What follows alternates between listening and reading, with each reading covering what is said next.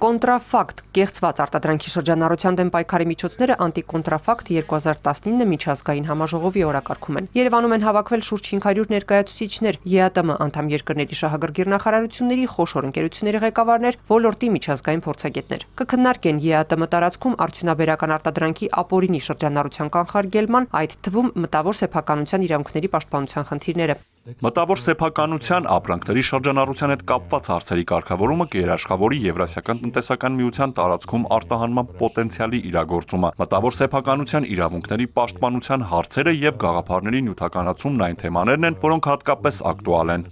Համաժողովի մասնակիցներն արձանագրում են, որ ոչ միայն այս, այլև բոլոր ոլորտներում կան հարցեր, որոնք առանց ԵԱՏՄ 5 երկրների քննարկումների կմնան անլուծելի։ Ապրանքների շրջանառության հետ կապված խնդիրները կբերեն լուրջ հետևանքների։ Այս իմաստով լայն հնարավորություն կա քննարկելու կարգավորումների, օրենքների ներդաշնակեցման հարցերը։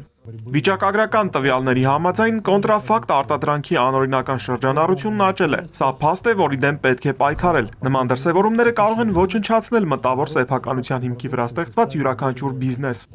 Անտիկոնտրաֆակտ 2019 արտադրանքի ապօրինի շրջանառության կանխարգելման համար լավ հնարավորություն է հանգելու այնպիսի մոդելի, որ առաջին հերթին իրագործելի կլինի ԵԱՏՄ ամբողջ տարածաշրջանում եւ կաշխատի արդյունավետորեն։ Ասմիկ Օհանյան, Արման Թովմասյան, Էպիկենտրոն։